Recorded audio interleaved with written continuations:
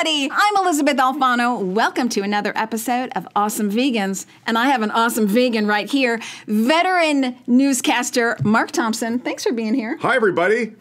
Listen to this that is a voice. big uh, Jane Unchained day. Yeah, it is. I, because the lovely Jane Velez Mitchell was on my podcast for uh, airing at a future date, and we just finished about an hour together. So this is kind of cool to have a continuation now.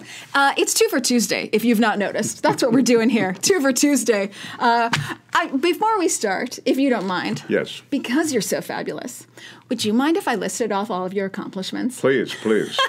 Yeah. So this just to I'll make be you- leaving the room for a few minutes because it takes a while. just so that you can feel good. Okay, so Mark and and we were supposed to have a little bit more time before meeting today. So if I've got any of this wrong, you just tell me. Sure. So Mark, you have been a newscaster. I want to say starting on Channel Well, 11 that's true. for at least yeah, let's not. We're going to get a no? long time. Okay, we won't.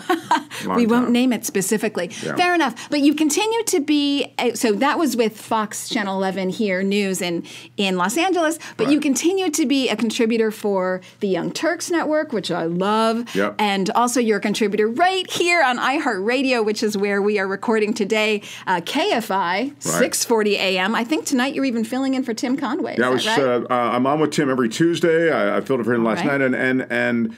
KFI is a great platform, and just as it relates to animal issues, I try to sneak in references that everybody knows I'm vegan, of course, because they give me such a hard time about it, or they ask questions about it. And actually, Aaron Bender is on the show; he is now vegan. So uh, it's uh, and it's the most listened to talk station in the country. So uh, I view it as an important platform to kind of get sneak in, as I say, uh, references to animal rights issues and also to uh, even a fun way, like. Um, like they'll be ordering, they'll have a big order uh, delivered there of food, and I uh, will say, "Go ahead, enjoy your torture," or whatever. The I mean, you know, you'll. Re- I try to do it playfully, but because I think it's important that you remind them, even in a playful way, not to be obnoxious. I mean, again, you don't want to be that guy, but I do want to try to sneak it in so people remember what they're eating, you know, what they're participating in. Yes, you're helping people to make the connection, Right. of course.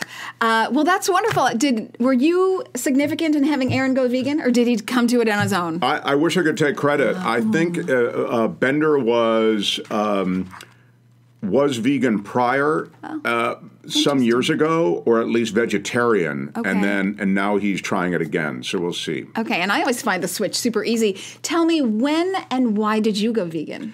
Well, I, I mean, I'm one of those cases where I um, I was actually telling Jane about this. You know, I was. Um, I was always envious of people who could do it. Imagine that. I mean, I kept saying, "Oh, I, I want to do it. I, I know it's bad, but I, I just can't do it." I'm, I'm, I, someday I'm going to be a vegetarian, is what I said. And um, I was on television getting dogs adopted and cats adopted. I was very active in the uh, animal adoption community, and then I was, and this is something else Jane and I talked about. You have to be ready. You know, like I was already Yes. talking about it, and a few friends of mine said, you know, you were really, we could tell you were ready to go. So uh, I'm trying to think. I was Sam Simon, who was a dear friend. Sam Simon, um, who was creator of The Simpsons, and he's just a brilliantly funny, magnificent guy.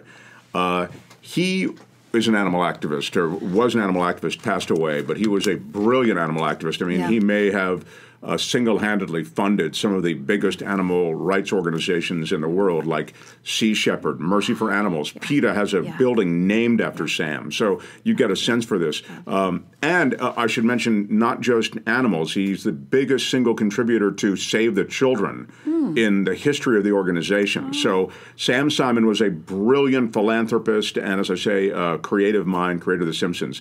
He became a friend, and I was waiting to do his radio show. Uh, he had like an internet radio show, and they were talking about some of the things that uh, are involved with animals and their treatment in the animal agriculture world.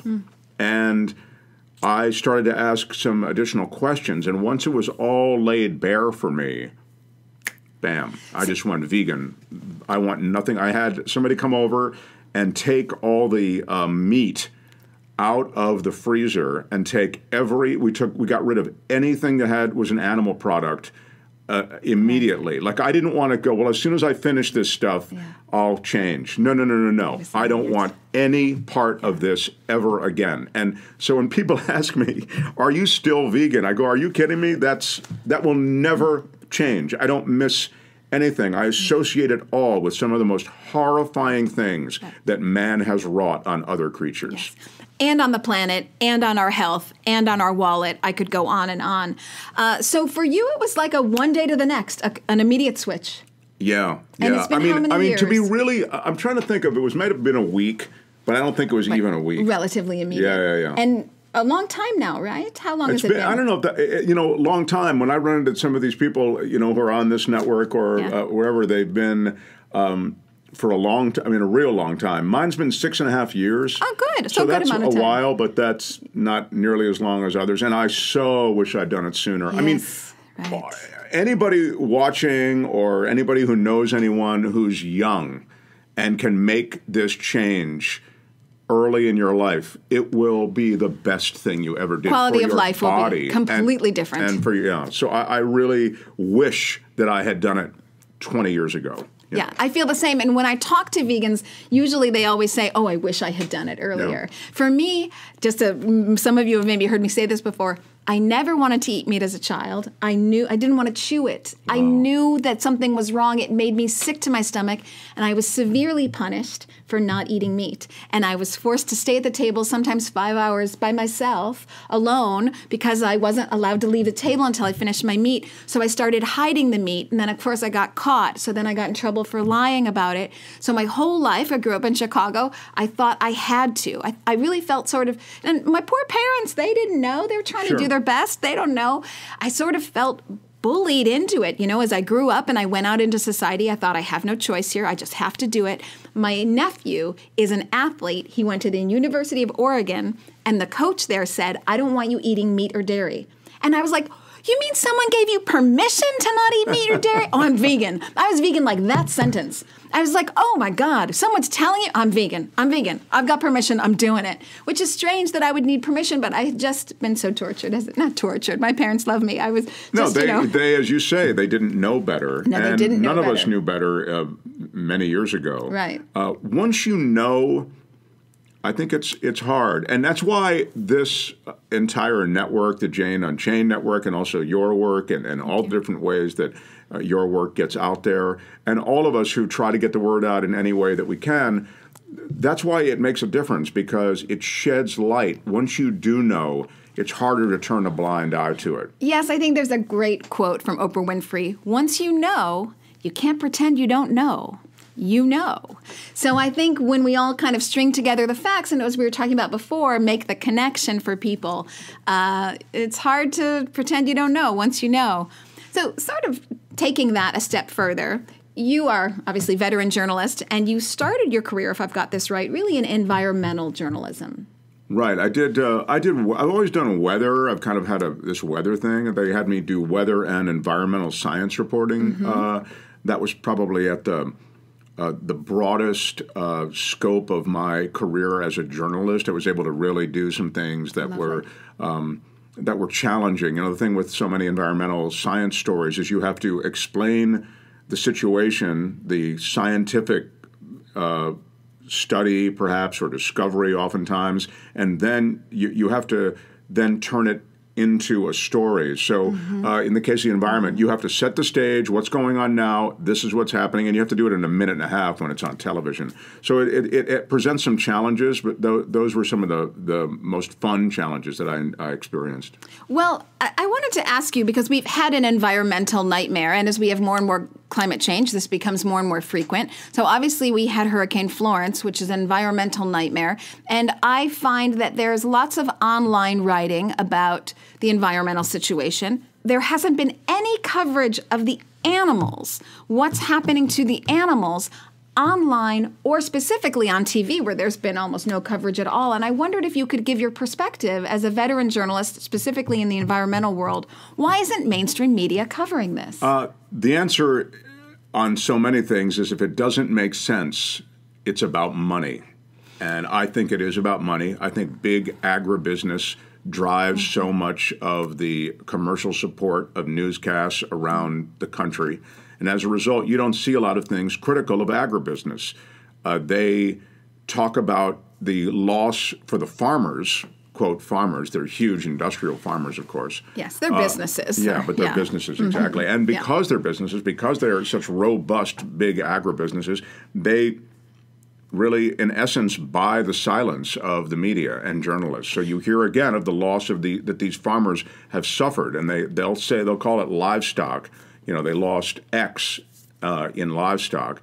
But uh, you don't hear about it as, uh, you know, Jane said a great thing. I hate, I hate to quote Jane on top, but she's so smart and Let's the way quote she, Jane. the way she says certain things. And one one of the things she said was, if I told you I'm leaving warehouses, sheds, industrial farms full of dogs to Oh, you'd go drown, nuts. Yeah. you would never. It would never happen. They would chopper in people to rescue those dogs. But when you leave pigs and cattle behind, chickens, um, we don't hear about it at all, as you just noted. it's it's it's shameful. It's reprehensible. It's obscene, and it's money. That's the reason you don't. But it. but but here's a story as well. Even if you don't want to cover it from the animal perspective, which there's something seriously wrong if you can't see that perspective. There's a business perspective. So we had Hurricane Matthew in 2016. The same thing basically on a smaller scale happened. We haven't changed any of our practices. What insurance company would sign up to insure? And I'll just tell you the, from the animal perspective, what that means is they're letting all those animals die, they're paying to restock them as if they were furniture widgets, and we're going to do this all over again in a floodplain. So that's a story, even if you don't want to take the animal perspective. You're right. That's a great story. That that that there are no uh, there are no changes being made to the way this land is being used, to the way this land is being protected, to the way the the coast is responding to these bigger and bigger hurricane events. I think that's a very fair point. And why would the insurance company say, sure, I will insure you again, even though you've done nothing to change? That's a dumb business right there. So there's a lot beyond the obvious humane and the, and, you know, I'm all about hugging a tree and crying for the animals. Believe me, that's what I'm all about. But if you don't want to take that perspective, there's a gazillion other good business reasons, good health reasons, good environmental reasons. Oh, and if you care about your children and you hope that they have a future, there's a good reason for that as well that you don't want to have industrial farming like we have it. But there are many ways to cover this story. They don't cover it on any any plane. So let me You're right. That's a. I, I'm I'm I'm listening, going, wow, that's really true. I mean, I think you're I think you're right to make the point, and it's not a point that I've heard made appropriately, as you say. It this story has other angles by other- which it can be told. Yeah. That's right. So, so then let me ask you a little bit more direct question. Do you think it really comes down as a directive? You shall not cover animal rights, and that goes from the general manager to the news director to the news reporter. Is it that direct?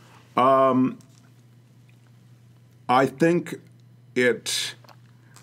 I, no, I don't think it comes down directly. I think it's. I think it's handled. It depends. You know, I've worked in big newsrooms where there are different layers of people. So when I I- you know, in smaller communities, maybe North Carolina uh, is still a big market, North Carolina, but but there may not be the layers as you might find as Los Angeles and New York or Chicago.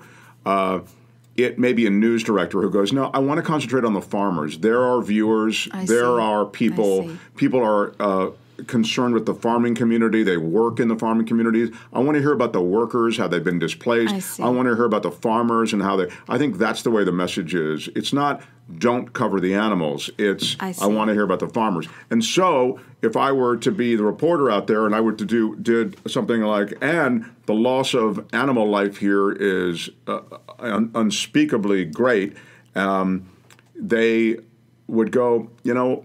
I understand that that is one of the. But I don't think we need to talk about uh, animal loss of life when so many people have lost their lives and their livelihoods. My point is that's the way they would rejigger discussion. it. I yeah, see. I, I suspect that's the way it goes down. I see. Although I will say, and I understand that perhaps this is not the perspective in North Carolina, but around the rest of the country, people who have seen those numbers, because I've been asking people, granted, this is just my, you know, sidekick survey. I've been asking meat eaters, what do you think about the pictures that you're seeing? What do you think about the, the flood all the way to the top of the building? And you know that there are animals in there, and you know that they're just throwing them out and restocking them. They're all horrified, which is a nice way for me to enter into the conversation and sort of make the connection and say, well, then don't fund that activity. Vote with your wallet if that's how you feel. But I'm not trying to lecture them in that particular moment. I'm trying to get them to make the connection. And most people, when they see those photos, I don't know if you've had this experience, they're not for the farmers. They feel that it's an enormous waste. Yeah, I, I, I haven't had that situation where I've confronted people with mm. pictures or even had that conversation. I applaud you for having it. Um, I, uh, I, I, I, you can't look at those pictures and feel good about things. You can't look at any of the things that are happening uh, in the wake of these of that huge yes. storm yes, and right. uh, Florence in this case, and be okay with it.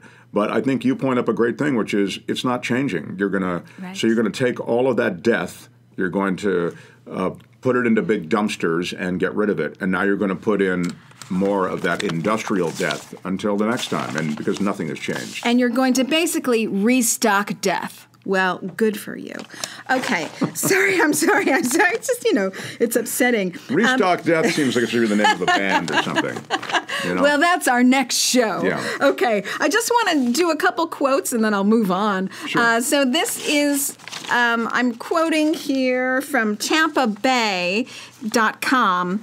Every time I see the same things flooded lagoons, chicken houses filled to the roof with dead chickens, said Rick Dove, an official with the environmental group Waterkeeper Alliance and a resident of New Bern, North Carolina. We never learn from any of these storms. We have the same problems dead animals and feces and urine running down the rivers. Well, that's the other thing. As you know, the effluence from these pig farms, from these livestock farms from these animals. You know, they're they're real living creatures, and yes. uh, they urinate and defecate, and all of that is and have uh, families and communicate and yes. have language. More to the point, they right. I shouldn't have concentrated on the urination and defecation. We all do it though, and if yes, we were trapped in a cage this big, and then they would just have slats below that lets that effluence go. It goes into big pits, and when it was inundated with water, all that toxicity streamed out into the community. Goes right into the drinking water, folks. So there are many reasons to cover that story of mainstream media. Many, many reasons. Uh, I'm moving right along. So I have a question for you, since you have uh, been vegan for well, six your energy is really great. Oh. If I had your energy, I would be uh, on another level. Great. Uh, you and Jane both. Oh? We do. Jane's got all. Jane also yes. has this amazing energy. Yes, she does. Uh, okay, so you're a vegan, but you know there are many advancements technologically in our food system, and that's not just for plant based food, that's for lots of foods. Sure. How do you feel about clean meat?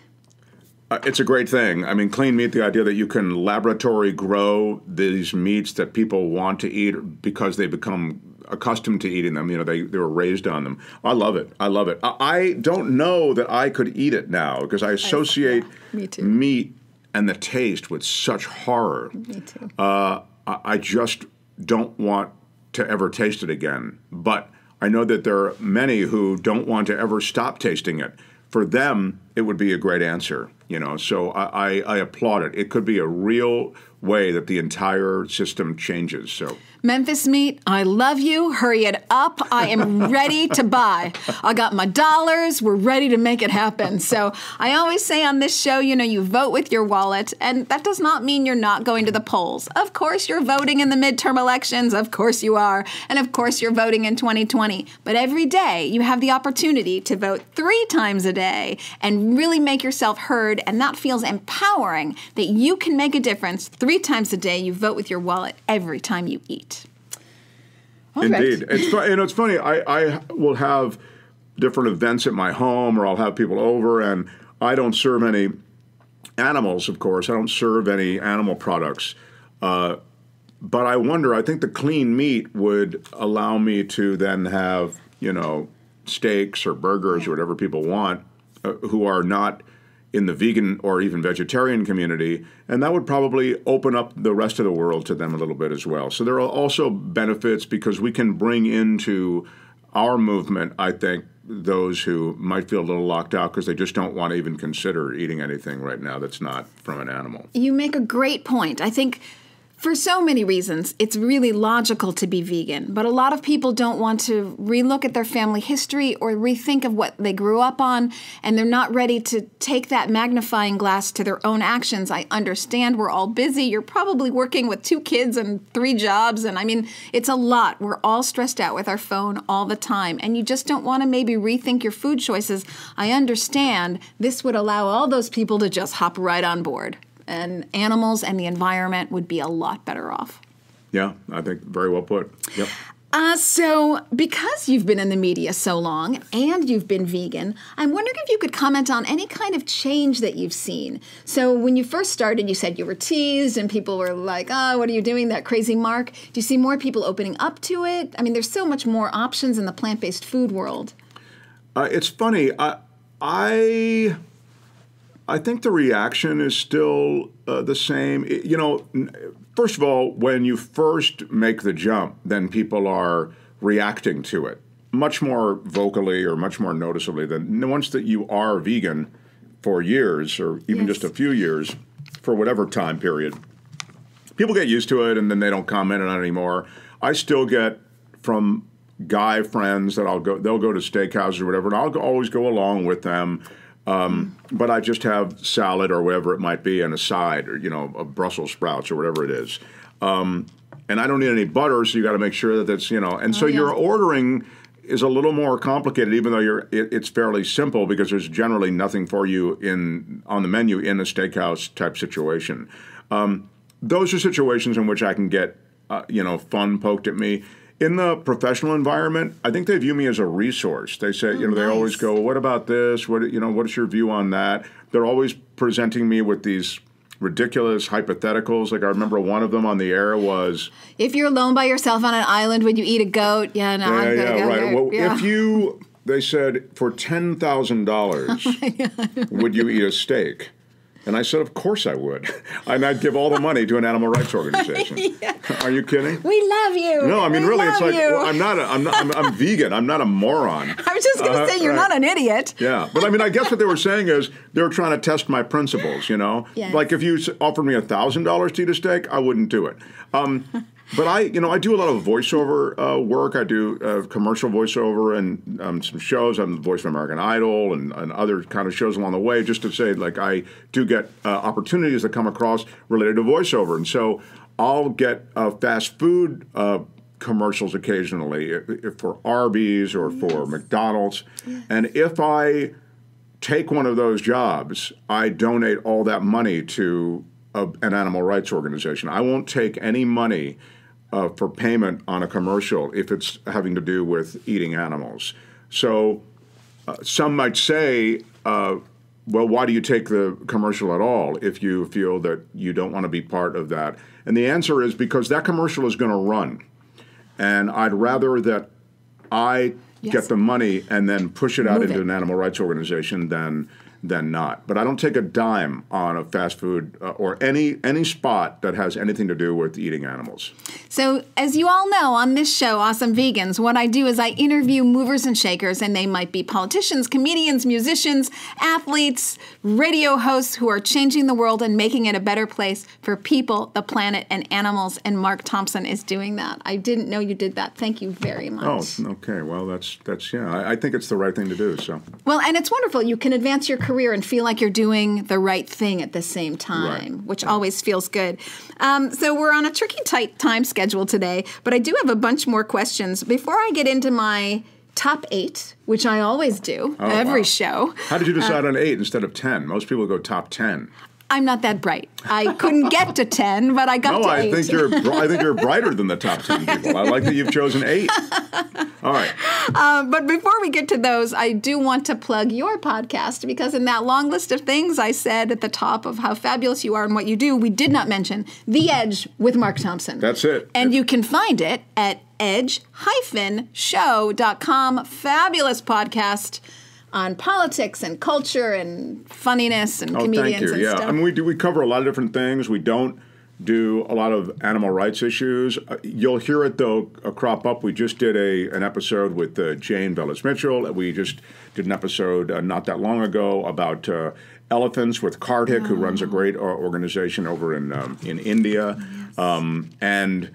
Um, and so on. In other words, it does come up along the way, but I don't want people who are watching this show and expecting might be who might be expecting another big a full meal of uh, animal rights issues and, and issues confronting animals to be disappointed when they get to my show. I think we do cover a lot of good stuff, and you can do a needle drop on it. You can just check out a few episodes and find one that you like. But it's just a bunch of different conversations, and uh, and yeah, it's called The Edge with Mark Thompson. So, for the record, you would never be disappointed in listening to The Edge with Mark Thompson. Oh, thank you. But uh, he's just being humble here. I'll sort of give a shout out to my own podcast. So, of course, right now I'm on Jane Unchained because she's so fabulous too. But this podcast does go to WGN Radio. And I think you and I share the fact that we're always trying to get animal rights stories into the mainstream news. Um, I do some freelance work for KCRW here. And, you know, I've done lots of radio stuff before and TV stuff before. So I'm always trying to work those storylines in. And I have to say thank you, WGN Radio, for uh, letting me do my Awesome Vegans podcast. Hi, Chicagoland. Yes, Chicago, we love you. Because that's pretty awesome right there.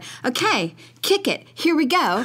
top seven. Are you ready? It was it was top eight, and I realized I already uh, no, but I'm gonna okay. I'm moving it so back to top eight. seven. They like alliterative things. Ooh, and, the uh, super, seven. super seven. Okay. All right. Oh, I like how you roll, Mister. Okay, what are we always gonna find in your fridge? Uh, you'll always find some version of Vegenaise or just mayo, where I really love that slathered on anything. So you'll always find it in there. All right. What are your favorite snacks? It could be a healthy snack. It could be pure junk food. Hit it. I'm uh, real partial to. This is not a junk food per se. It just, but these sandwiches that I'll make with anything from tofu. I love tofu, but again, I love tofu slathered with with uh, vegan mayo. We have an addict here. Yeah, truly, I really think I am addicted to that stuff. And uh, but I'll I'll add onion to it, and so I'll do it with avocado, but I'll do I'll also do it with. Um, but I really like when I'm wanting to, uh, you know. Just inhale food. I will go for that. I'm not a big one for, um, like, you won't find cake and that kind of thing in, at my house uh, per se. Not to say I don't love it if I, I can find it, uh, like vegan cake or cupcakes or whatever it might be. But um, I'm not a slave to that the way I used to be. I used to be uh, oh, when I. That's one good thing that going vegan happened uh, uh, uh, changed in me is it eliminated desserts across the board a lot of the way. Like there's still tons of vegan desserts, but you have to know where to go. And right. like I'll eat at a, a high end restaurant here in L.A. called Craig's and you know you'll see a lot of stars there and all that stuff. They have a whole section of vegan options, and they have desserts that are vegan. So there, I will go for it. But um, junk food, I I'm not. I guess potato chips are my biggest junk food, but I don't eat a ton of them. I, I, just do. I just slather on that Vegenaise onto whatever I We're can. We're back to Vegenaise. Yeah, there you have it.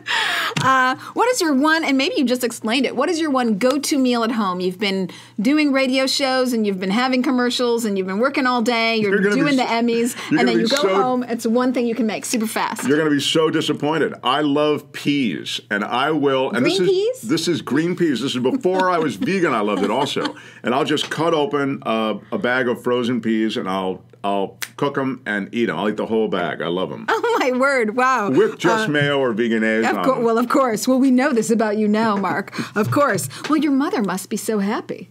You uh, like peas. Oh, I see. Yeah, yeah, yeah. I don't think she focuses much on that, but yeah, once we get there, once she sees this, she'll be very happy. I think we all know the answer to this, but it's part of the top eight, so I got to ask it. Do you have any pets? And if so, do you think they're any different than farm animals? Oh, um, I have uh, three cats uh, that I had a long that I got a long time ago, and then one stray cat that has just entered my life in the last couple of years, and she's fabulous. She got her. She was an emaciated little oh, kitten when we found her. She kind of made her way um, by the house, and, it, and, it's actually it's a really cool story. But I don't know. how much. I don't think we have a lot of time, so for the next time I'll tell it. He's but coming that, back. There, are, so that's four cats. I want a couple of dogs. Mm uh, even just one dog. But frankly, the cat, the, all the cats, of course, are these rescue creatures, and they've had some degree of trauma in their life, and I just feel as though they're. Uh, I don't want to compromise their life any further by bringing a dog into the mix. maybe, yes. th- and maybe those of you watching go, you know, you don't need to worry about that. You can do something the next thing. I, I, so it's just cats. So we have four cats. It's great. It's a cat house. That's wonderful. I love it.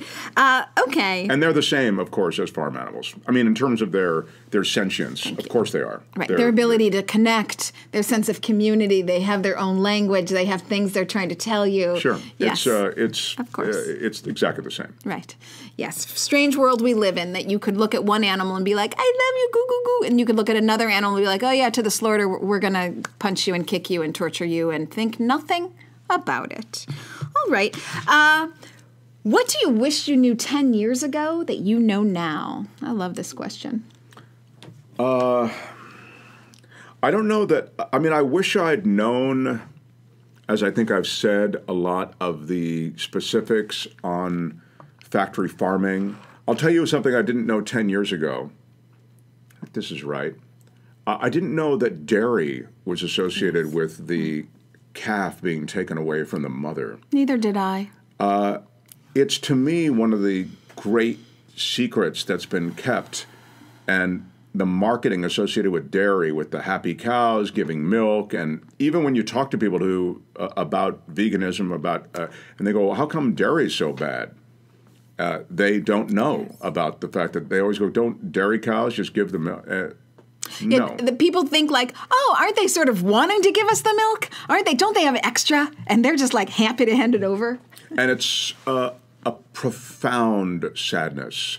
Um, in fact, whenever I'm in a restaurant and I'm and I'll get that question, and usually you get it from servers. I'll get a lot of from servers. This is a whole other thing we could talk about, which I, I really don't like. This whole thing where they go, "Would you like some protein on your salad?" Where they go, "Protein, protein," where somehow animals and uh, and fish, which are really an animal as well, of course, but uh, they are viewed as they're being pitched as protein. It's protein. Uh, the truth is that. Um, that's a that's a way of concealing the what it really is. I- I- Is there protein in it? Yeah, but there's way more bad in that thing that you call protein for your health than you're representing. Um, My you response like- to that is that I do not want a heart attack on my plate. right 'Cause that's- right. that's There's the- that yeah. too. But I I uh, so anyway. Uh, but on the dairy. When they ask you what's wrong, I don't. I don't get what's wrong with dairy, and I'll always. I'll look at my girlfriend, and she will roll her eyes because she knows what's coming, and it is a description of where dairy, uh, how you get dairy. So uh, I'm extremely sensitive to that, and I think it's one of the most profoundly cruel and depressing facts about uh, this whole world. And I wish I'd known it 10 years ago so that I could have gotten the word out. I feel, uh, and I would have made the change even sooner.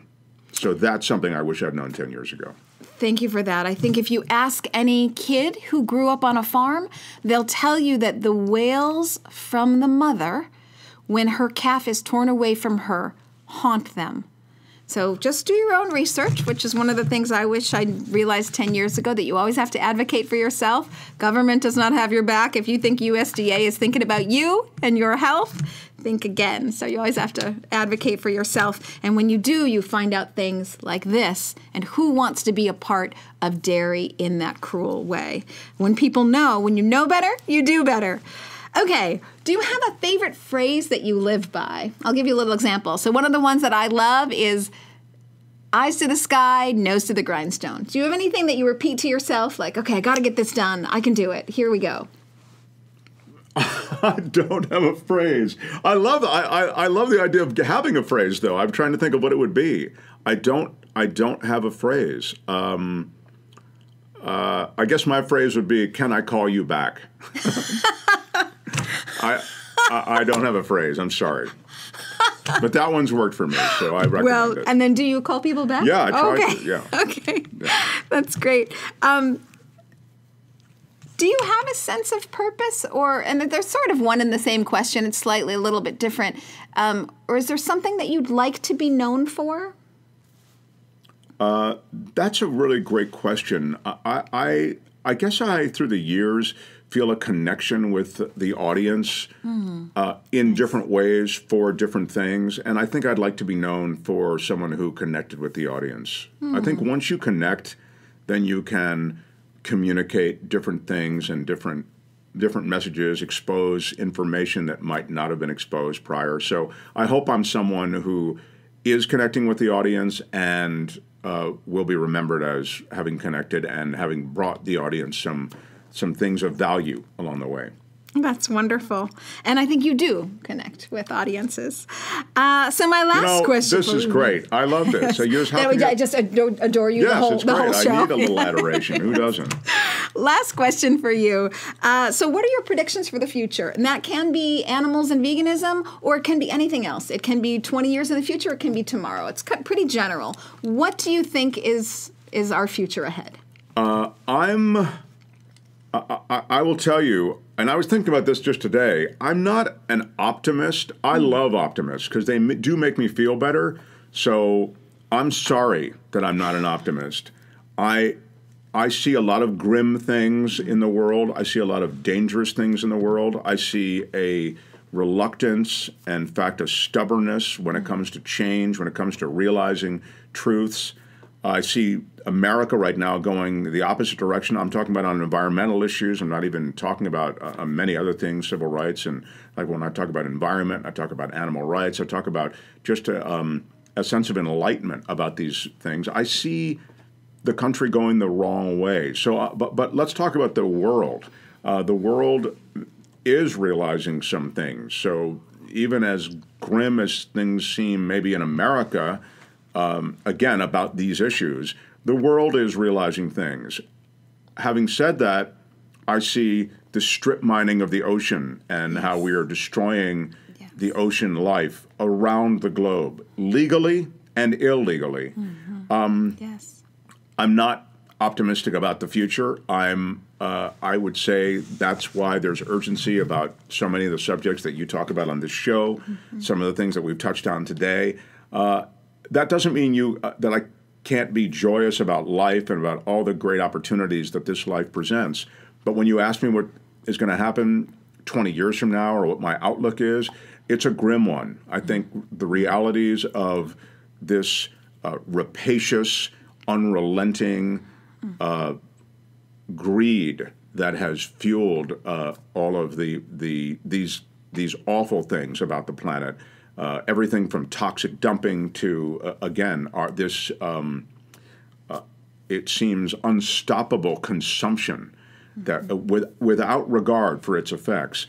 I see those problems being something that in 20 years uh, becomes starkly evident, and then it's too late. So I hate to leave everybody with that, but that you asked, and that is you're a bummer, answer. Mark. Yeah, now you see why I don't get invited anywhere. you yeah. know, it's funny on this show I had Moby on, and he said basically the same thing that it was too late for climate change. He said people might start to change what they eat. That's a pretty obvious that you can't sustain that model anymore, but that it was too late. He really feels that it's too late. I don't even talk about climate change anymore because it's become something that's been politicized. But I'll tell you what I do talk about.